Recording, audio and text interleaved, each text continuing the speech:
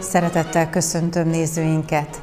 Vallási magazinunk következő adásában bemutatjuk Száz Zoltánt, a Széchenyi úti református gyülekezet lelkészét, és az ökumenikus imahét közös Isten tiszteleteinek további alkalmait az evangélikus templomban, az Öreghegyi katolikus templomban és a Szent Imre templomban. Tartsanak velünk február 10-én vasárnap 19 óra 20-kor a Fehérvár televízióban.